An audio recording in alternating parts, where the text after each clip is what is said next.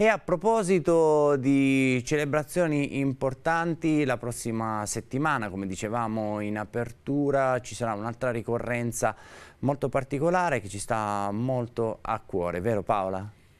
Esattamente Tony, infatti per questa notizia vogliamo andare subito sul mattino perché è comparsa questa mattina alle 8 sul sito del giornale eh, del, ehm, della campagna un'intervista alla sorella di Don Peppe Diana di cui quest'anno ricorrono i 30 anni dalla sua uccisione. E eh, nell'intervista appunto alla sorella Marisa che dice mio fratello faro del nostro popolo, ecco vediamo riportata nelle pagine interne interne del mattino. È la sorella Marisa che all'epoca, quel 19 marzo di 30 anni fa, del 1994, aveva 28 anni, quando il fratello, lo ricordiamo, Don Giuseppe Diana, per tutti Don Peppe Diana, venne massacrato all'interno della sua chiesa Casal di Principe. 30 anni dopo Marisa è ancora lì, nel comune di origine della sua famiglia, fa l'insegnante, accudisce appunto la sua famiglia. Al mattino Marisa Diana racconta gli anni più bui, quelli immediatamente successivi successivi all'omicidio del fratello, quando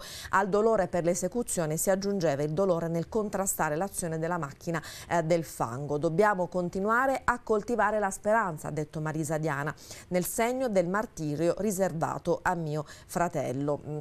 Un sacerdote, un uomo, racconta che annunciava i valori e la verità della fede nella sua semplicità.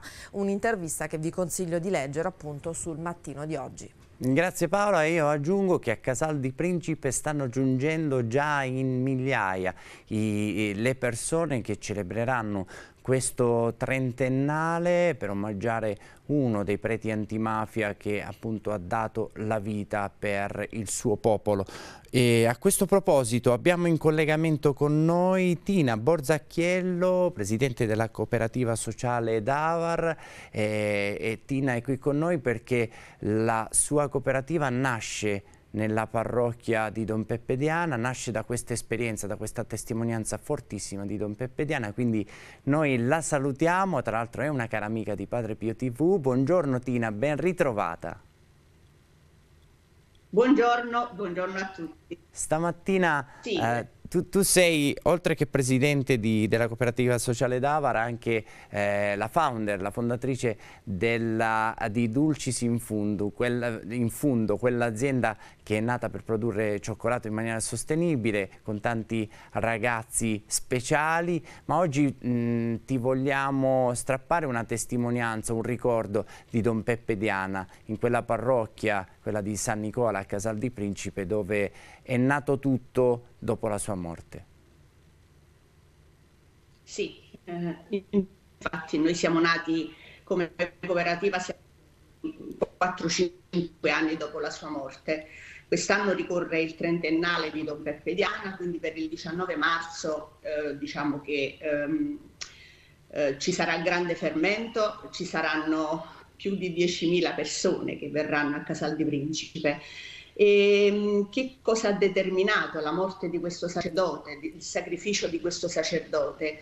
Ha determinato il cambiamento. Praticamente le terre di Camorra, Casal di Principe è famoso per questo, sono diventate le terre di Don Peppe Diana le ter terre di riscatto, dove le persone che sono state umiliate per tant'anni hanno ritrovato ecco, la loro eh, personalità, quello che era un abitante di Casal di Principe e non più il casalese visto come casalese uguale camorrista. Se dobbiamo parlare di Don Peppe Diana, dobbiamo parlare del documento. Che cosa ha determinato tutto quello che è successo? Il documento nel 1991 Fuori alle chiese di Casal di Principe, non solo nella parrocchia di Don Peppe Diana, Don Peppe insieme ad altri sacerdoti ha, hanno scritto il documento. Il documento è stato eh, dato alle persone nel giorno di Natale del 1991 dai sacerdoti, come ho detto, di Casal di Principe insieme ai giovani, dove eh, si parlava della camorra, di che cosa era la camorra e perché i giovani non dovevano seguire queste orme.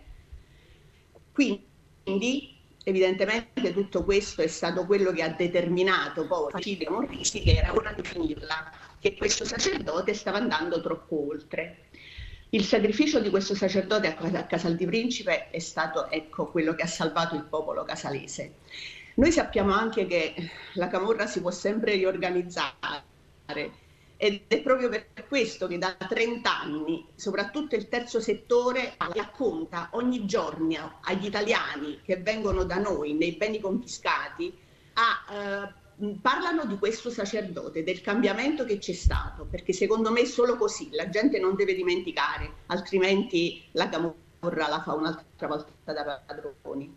Grazie Tina, abbiamo ecco anche qualche non... foto di Don Peppe, presbitero, attivista e scout italiano, assassinato dalla sua dalla Camorra per il suo impegno antimafia, come appunto ci raccontavi tu, medaglia d'oro al valor civile. Eh, dicevamo Casal di Principe già da qualche giorno è in fermento perché le, gli eventi sono tanti. Eh, volevo, volevo chiederti un, un, tuo ricordo personale, se hai un episodio, un'immagine, una frase che ti è rimasta particolarmente impressa e poi è bello ecco, che questo abbia generato anche grazie al tuo lavoro, alla tua testimonianza tanta splendida ricchezza umana oggi a Casal di Principe perché eh, poi ecco all'omicidio di Don Peppe è seguita la vostra reazione e oggi Casal di Principe è una città diversa. Un il ricordo di Don Peppe Diana, perché ehm, io ehm, Don Peppe Diana l'ho conosciuto ehm, poco tempo prima della sua morte, non essendo di Casal di Principe, io sono sposata a Casal di Principe, quindi non, non sono stata una sua amica, anche se eh, eh Don Peppe era amico dei giovani, insomma era un rivoluzionario, una persona per bene, insomma. Eh, io personalmente non ne ho, ma ti posso assicurare che tutti i giorni eh, ormai ascolto e racconto la storia di Don Peppe Diana tramite i suoi amici e eh, che parlano di lui ancora con tanto entusiasmo, quindi questo si può dire insomma che è una persona per bene, altrimenti non sarebbe durato tutto questo tempo e non avrebbe lasciato queste cose.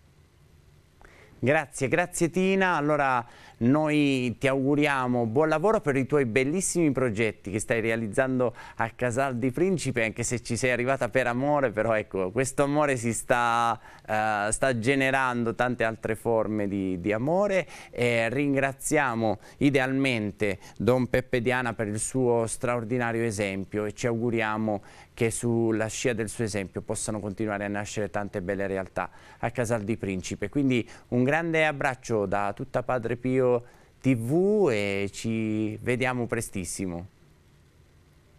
Grazie, vi aspetto.